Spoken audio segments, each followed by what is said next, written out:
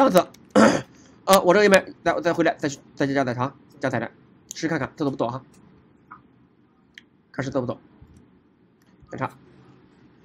呃，不是不是说不走啊，是因为啊，这个 GS 文件可能是什么没加载过来，是吧？这里面没有什么，没有一清缓存，我这指的什么？只能清缓存，清缓存之后我还得什么？重新登录一下，对吧？重新登录一下，因为我们这个闷点 GS 里面，咱们看看这个内容啊，这个闷点 GS 里面有没有这我们下面写的内容？没有啊是吧？这个闷点 GS 里面没有我们刚刚加的内容，所以说我们是找不到它的，所以我们需要什么？清一下缓存。是吧？清缓存，然后呢，把这些清掉。清掉之后，我们重新刷新这个页面啊，然后呢，看看它会不会把这个文件给它加载回来。再加载回来的话，这里面第二个这地方你看是不是显示登登录注册？说明是没错的吧？是吧？来，好显示幺四十，来一二三，A B C，好，登录成功。登录成功之后，这个地方是不是显示我的账户？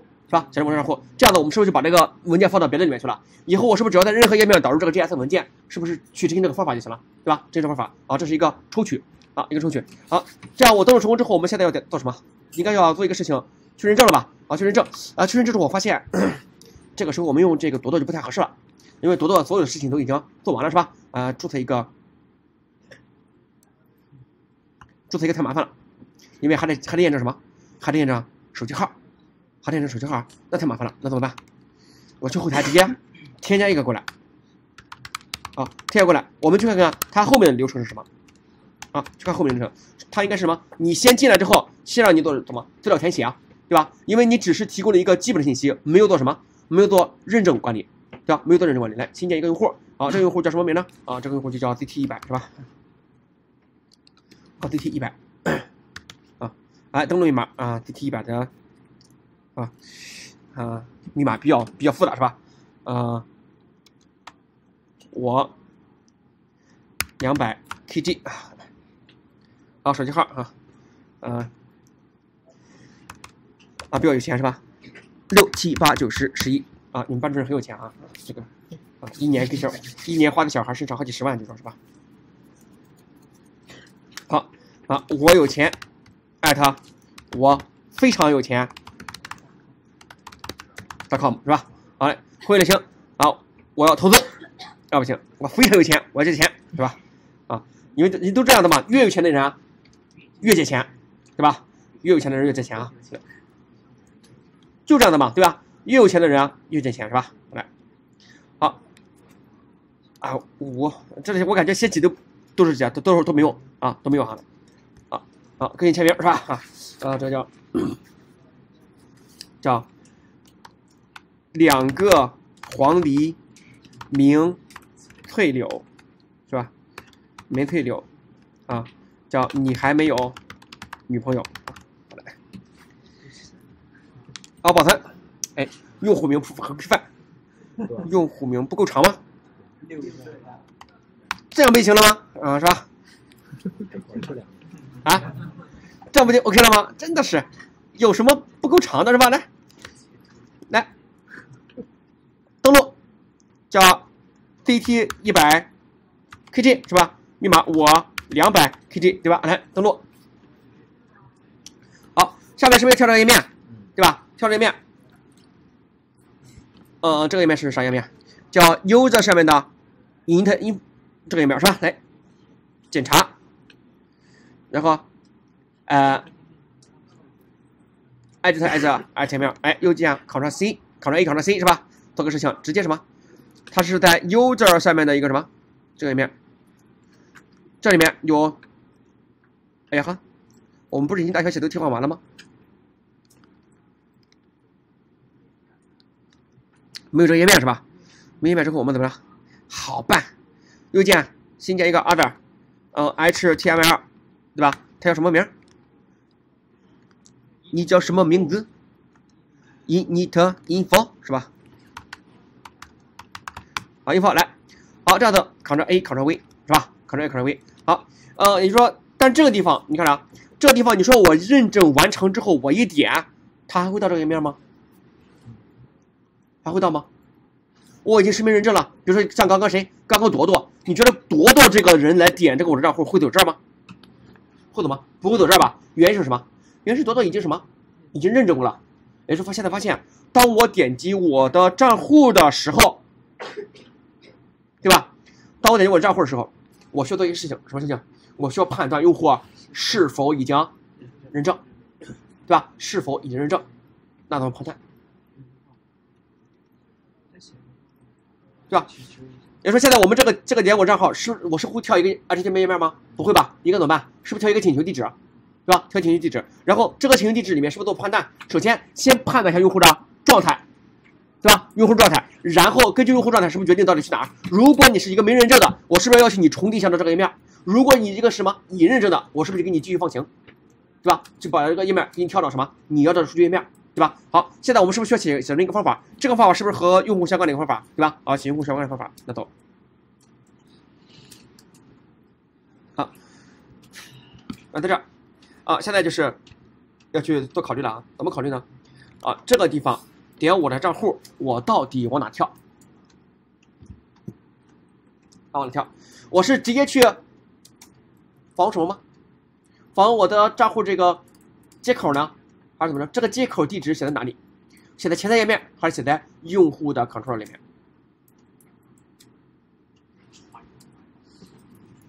啊，就在这儿。我是访问谁？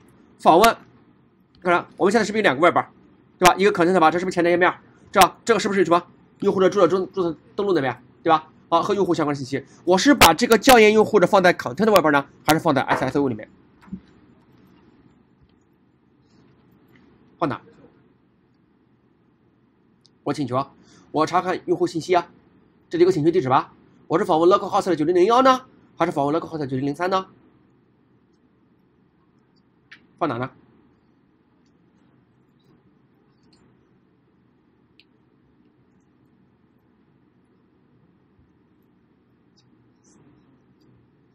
而且还有一个问题，现在我现在只交验什么？你是否已经验那个认证信息啊？提交信息吧。还有问题啊，我在这儿等他二十分钟，你觉得我再点我的账号会跳这儿吗？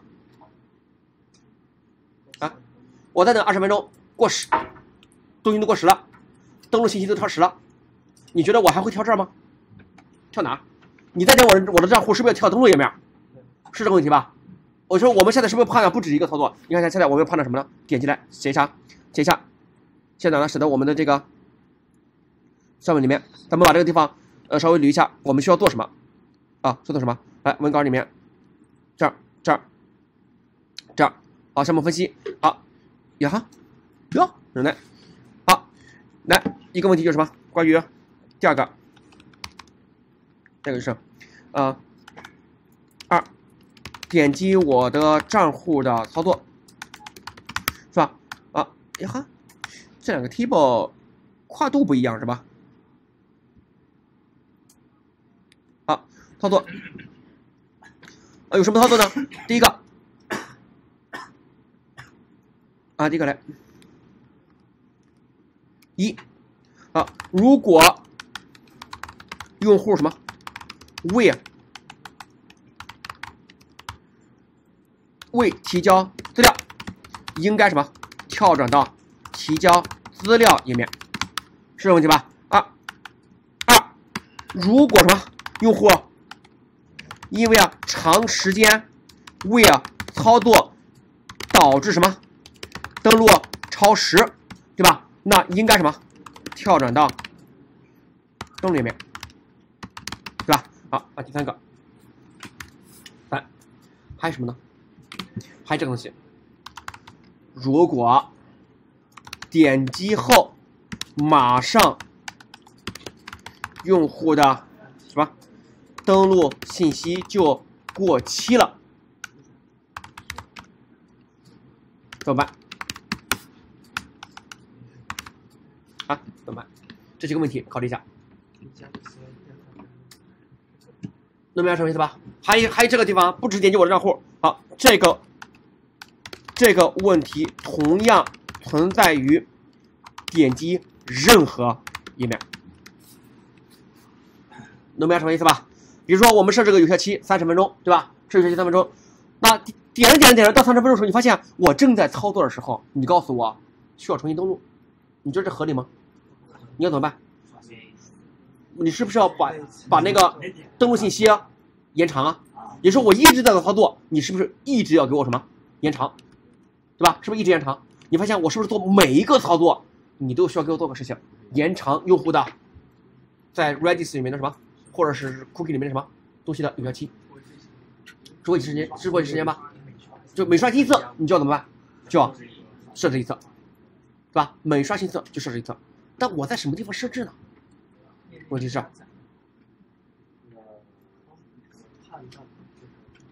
我在什么时候去设置这东西？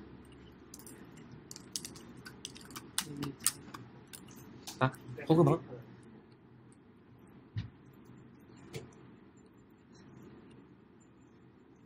你不要想问我，你刚问我啥问题了？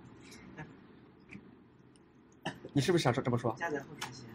加载后刷新啊？什么叫加载后刷新啊？它有任何选择。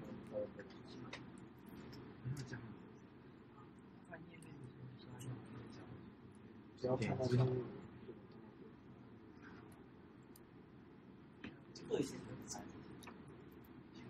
我在什么地方？什么代码里面？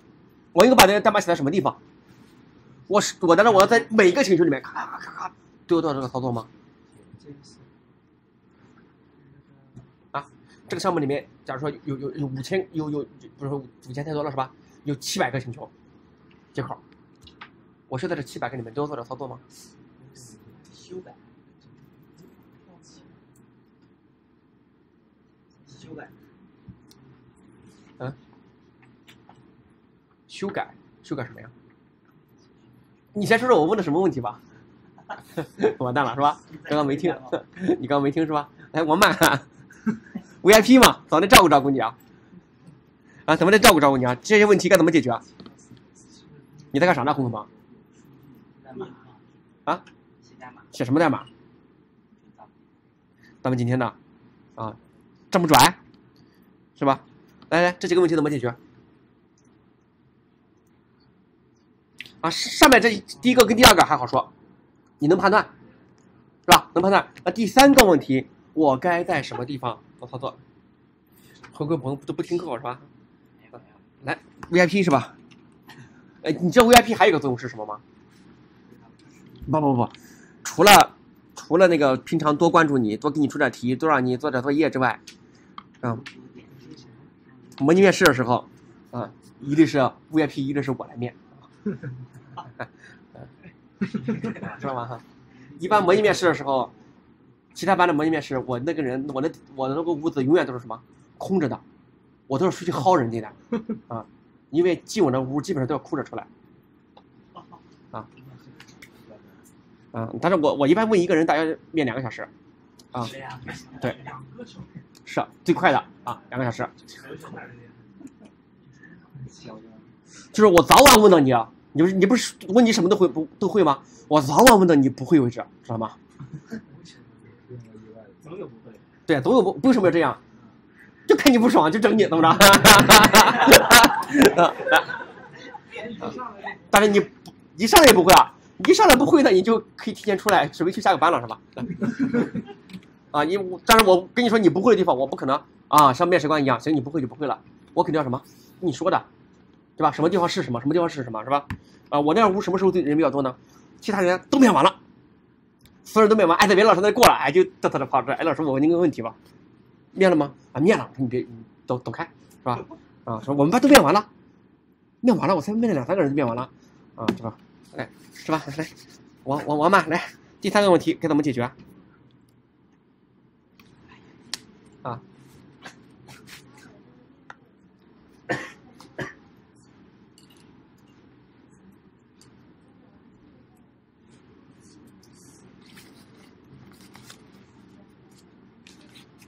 过滤器里面加载页面的时候，其其实哎，其实有必要吗？我每走一个页面，我都要做同样一件事情，你忘了吗？我每次都要获取一次用户信息啊，还记得吧？我们刚写的那个方法，这不是任何页面吗？来，还记得吧？这这不是任何页面，我走一遍，这个东西不都得走一遍吗？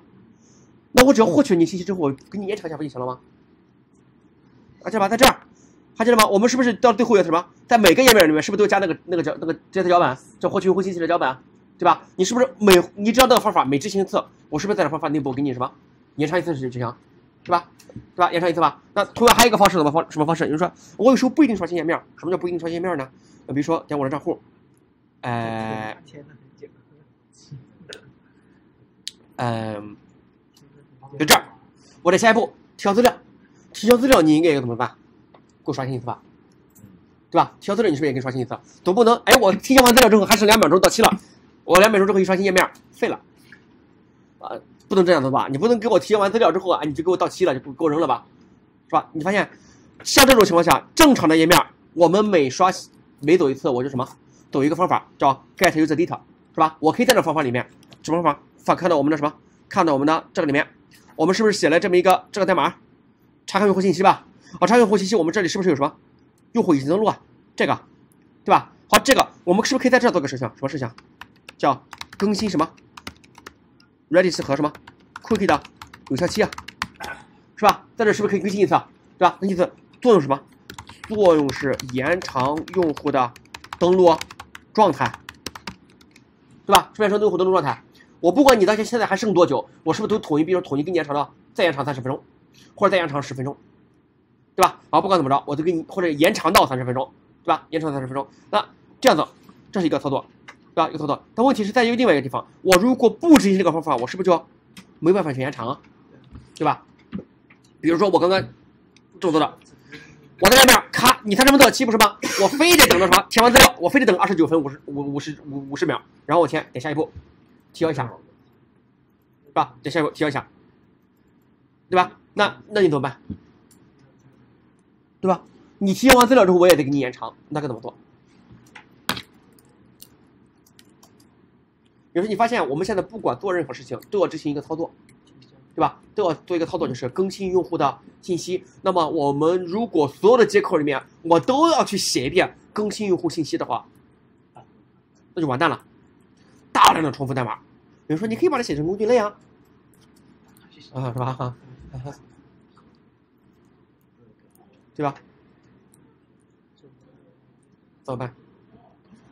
现在我们如果出现大量的重复代码，首先第一个想到能不能封装，对吧？啊，第一个封装考虑是不是能不能封装成工具类，对吧？封装工具类，但是这个更新用户信息我封装成工具类的哈，好像不是很合适，对吧？好像不是很适，因为我这样写的话，我必须把它放哪？放到 comments 里面，对吧？因为我们后面还会有很多其他页面嘛，我不放 comments 里面，是不是访不到三人？那要么你就什么，变成一个服务，对吧？变成服务，你发现我不管做任何事情之后，我都要去请求一遍这个服务，好像也不是很合适，对吧？那怎么办？啊，能不能用这种方式呢？就是我不管做任何操作之后，我都跟你说，哎，注意啊，你该更新用户信息了。我可不可以找一个专门更新用户信息的人在那等着？啊，等着他干嘛呢？他不干别的事儿，就等着什么？更新用户的信息，就 ready 信息吧，到期时间。然后他几天坐那儿是吧？就像你们一样到那儿着，啊，突然间该更更新用户信息了，啪，进去了是吧？好，更新一下用户信息，啊，是吧？谁呀、这是？是有人犯困了吗？啊，然后做完这事之后又怎么着？又犯困了是吧？啊，知道什么？突然又有一个人说你该更新用户信息了，他站起来更新一下用户信息，能能明白什么意思吧？就是不断的有人在这儿，有一个人有一个人专门去啊更新用户信息，啊，这叫什么呢？就是那个客服一样，那客服客服整天干嘛？客服是去做一个事情，处理用户问题吧，是吧？处理问题，我需要给你每个人都配一个配一个客服吗？不需要，是吧？怎么办？是不是有有一批客服在这等着？是吧？等着等什么呢？是不是只要有人打电话，打电话是不是像远程通信的一样，是吧？只要有人告诉他，哎，我需要一个问题问你，他是不是就给人处理问题，是吧？类似于那种监听器，你们你们应该学过监听器吧？应该是，啊，就像什么 context load listener 一样，对吧？context load listener，我是不是程序一启动，我就什么，我就加载这个配置吧？好，那同样，我只要有人一告诉我更新用户信息，我就更新用户信息，是不是一个道理？对吧？那现在就是我如果去做这种操作的话，该怎么做？我是不是得去写一个类似于监听器的东东西，对吧？在这干嘛？运行起来，不断的做。等待监听操作是吧？然后旁边是不是有人干嘛？只要你做任何操作，我就什么？哎，你来执行我的操作了是吧？咦，我告诉一下监听器是吧？他告诉他一声。然后这边监听器怎么着？哎，有人找我更新信息了，我是不是就更新一下？是吧？更新一下。来，那比如说咱们画个图啊，画个图啊。呃，今天画什么画呢？画画画画画画画画画一个，画一个高大上点的画是吧？好歹我也是呃。北京电影电影学院体育系学美术的是吧？来，那必须的，一看就是，感觉就是很高大上的感觉是吧？好来，改变颜色，不务正业，你才不务正业呢是吧？来，好，这样的啊，啥东西？好，现在，哎呦呵，是吧？I need 是吧？哈哈，好，在这儿啊，啊，这里有一个人张大了一张嘴是吧？就等着是吧？啊，吃东西了是吧？来，好，这是什么呢？这就是那个什么？以后。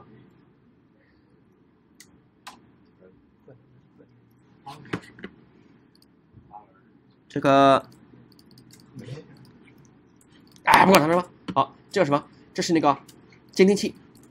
哇、哇塞！哎，听写错了是吧？啊，听啊，哈，监听器啊，好，它里面写了些代码，什么代码？就是是吧？哒哒哒，更新什么？更新用户信息啊，是吧？啊，更新，这个看不出来了是吧？哈 哈，记不着了啊，实在有点太大了是吧？不行。这叫抽象化，懂吗？抽象化来，好。它干嘛呢？它主要就更新用户信息。也说我们只要有人什么调问他，是吧？告诉他一声，你要我让你更新什么一号用户信息，他就更新谁？一号用户的。好，我让你更新更新谁？更新二号的，他就什么？更新二号的，对吧？现在我们是只差一件事情，什么事情？什么时候谁告诉他，对吧？他一直在等着，对吧？只差一个人告诉他，什么时候呢？我们这边是不是有好多什么业务逻辑操作吧？对吧？业务逻辑操作。好还有了操作，那其中有一个叫 get user in get user int 这个方法，我们可以确定它是一定什么会获取用户信息的，是吧？好，假设我在这儿 get user info 里面这个方法啊，不 get user data 里面，就我们的方法这个方法，哎呀，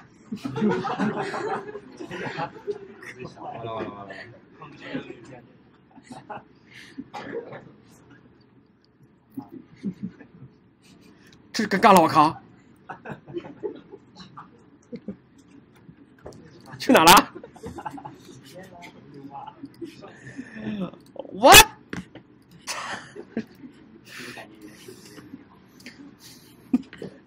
好，好，他赢了哈，他赢了，他这逼着我什么？小点了是吧？小点来，好来，啊，这里这里有个什么？一只小兔子是吧？小兔子来哈，啊，小兔子在这儿照着两那个两个天线是吧？啊，在这滴滴滴滴滴在这接收接收什么？接收信号是吧？好，只要有人说，哎，你注意了啊，该吃萝卜了啊！小兔子手里拿着个萝卜啊，吭咬一口是吧？啊，吭咬一口啊，这个咬一口的动作就是我们更新或一那个那个什么是吧？啊，什么时候呢？啊，就是比如说那个马戏团的人说，哎，你该吃萝卜了啊，小兔子就咔吃一口萝卜是吧？好，你该吃第一根胡萝卜是吧？吃第一根。好，你第二该吃第二根胡萝卜是吧？啊，吃第二根啊，在这吃。呃，然后呢，现在就是就差这个发布命令人了吧？啊，发布命令人。好，发布命令人在这儿，在哪呢？我们程序里面，我们程序里面有个什么方法叫什么？get user data 是吧？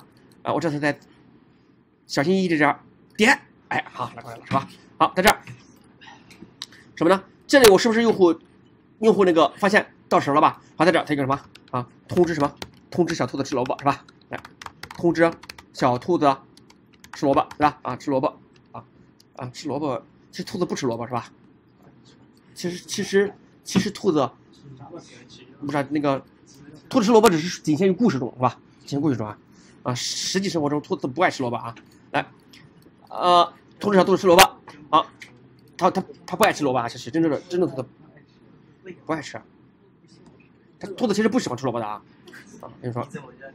你去看那个什么嘛，那个那个欺骗了你这么多年的那些什么那些东西啊，其中一个就是小兔子吃萝卜这个故事，其实什么小兔子不爱吃萝卜啊，兔子啊那些欺骗你这么多年的东西啊，来，好，那样子我是不是通知他一下？怎么通知啊？我们是不是可以发一个消息之类的，对吧？发消息，比如说我给你发个短信啊啊，小兔子耳朵上戴着个蓝牙耳机是吧？不是它的耳朵不是这么长吗？是吧？发短信，对对对，一，好，收到消息了是吧？好啊，让我吃萝卜了，好，在这儿我更新，那以后干嘛？以后所有需要什么？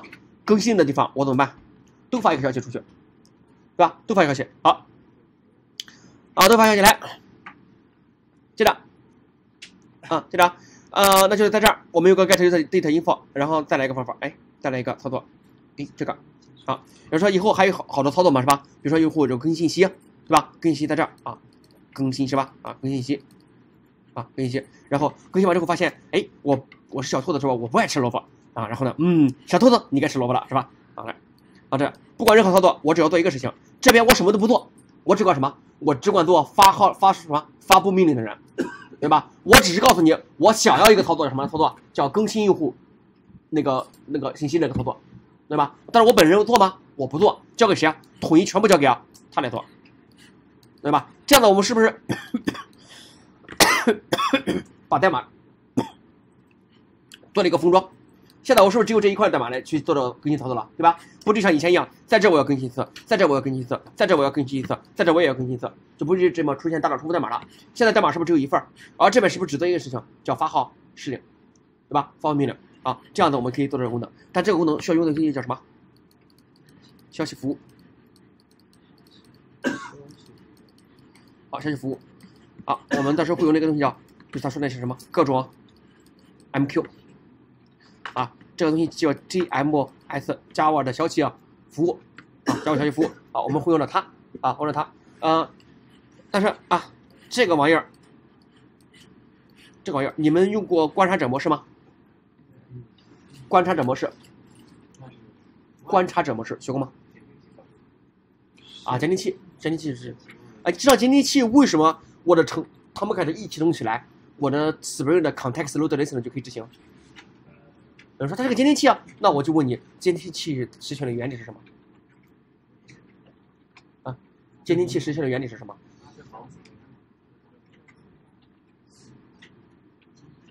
对啊，监听器实现的原理是什么？你们应该学过几个监听器？八个监听器吧？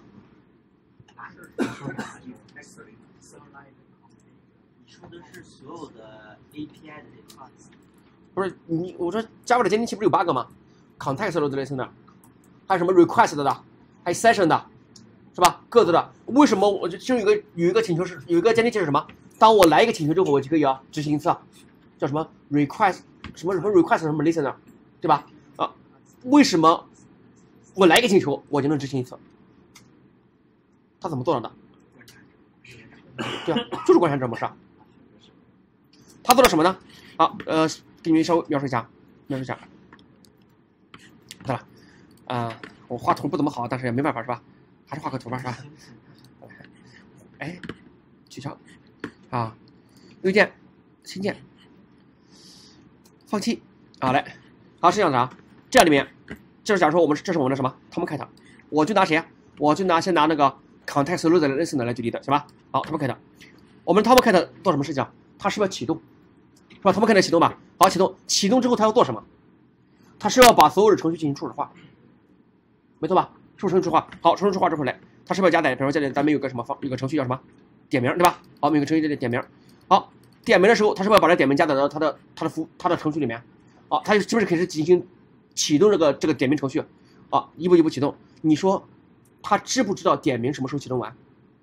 他们开的，对于他们开的来说，我把你加载进来，你说我知道你什么时候启动完吗？我一定知道，对吧？然后我们知道它启动完之后，其实他们开会做什么事情？它会加载它里面的这个东西叫 web 点 XML 文件文件，是吧？好，它是不是解析这个文件？它能解释什么？里面有个东西叫 listen 的标签，你里面配了个 listen 的标签，你说它会不会解析？会解析吧？好，解析完之后它做什么事啊？创建对象，好，创建对象，好，创建完之后，它把它标就它发现什么？这个 listener 属于什么？叫什么？它这个叫 context 的那个 listener，对吧？context servlet context listener，它发现属于这个类型。好，它把它放在什么？servlet context 类型的所在的那个 map 里面去，啊，有 map 也好，list 也好，专门里面放它的，啊，放这一堆东西的。然后，知道，哎，他知道这个 map 里面做什么用？就是程序启动完成之后加载啊。然后在程序启动完成之后，Tomcat 内部有一段代码干嘛呢？它要去便利刚刚那个什么存放 context load list 的那个集合，对吧？那个集合，然后把里面的所有的 list 呢一个一个取出来之后干嘛？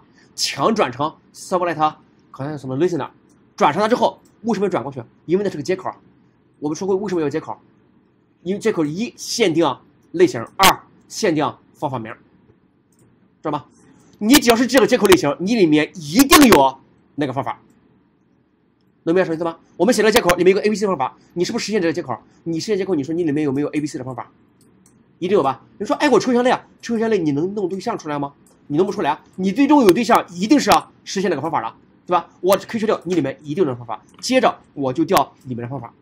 但你注意啊，我调方法实际调的谁啊？是不是调你配的那个对象是方法？对吧？我把这把 list 不是一个取出来吗？不有个 list，我说有个假设有个 list 集合，对吧？这里面是不是放了你配那个什么 context load listener，对吧？我是不是从里面把它取出来？取出来之后，我是不是可以调它身上？比如假设咱们一个叫初始化，忘了什么方法了？叫假设叫 A B C 吧，我是不是可以调这 A B C 方法？这个 A B C 方法是不是调你配的那个那个 list 上面的 A B C，对吧？那个 A B C 里面干嘛？做了个事情，找什么 context p a r a m e r 还记得吗？咱们那个配它的时候还配一个 context p a r a m e r 里面配了个什么 class pass 啊，什么什么什么个 XML 文件，对吧？好，去取它啊，然后去取取取它之后，把那个 XML 文件什么解析加载，这样的 Spring 容器就什么启动起来了啊，Spring 容器就启动起来。好，这也是你可以去尝试一下，你给它配了个 context load listener，但是你不配啊 context parameter，那么启动的时候一定爆错，启动不起来，因为啊，它在程序内部直接切死了，我就找这个标签。找这个什么？找这个这个什么？能 name 叫什么来着？context configure 啊不不，突然没了。context 的什么 Config location，对吧？context config location，它一定找这个参数名，它不找别的，它里面写死了，就找这个参数名啊。找到之后拿到下面那个值，如果没有就报错，对吧？有的话，有的话就干嘛？去初始化 Spring 容器啊，创建 Spring 容器对象，就是 application context 对象。创建它，然后呢，一步一步把里面所有的对象全部初始化出来，啊，全部初始化。这是那个，嗯，那个什么，那个 listener 的一个什么实验原理，它用的其实是什么叫观察者，观察者模式。好，那你们用过观察者模式吗？自己写过吗？啊，啊，那那我们今天呢，写一个来。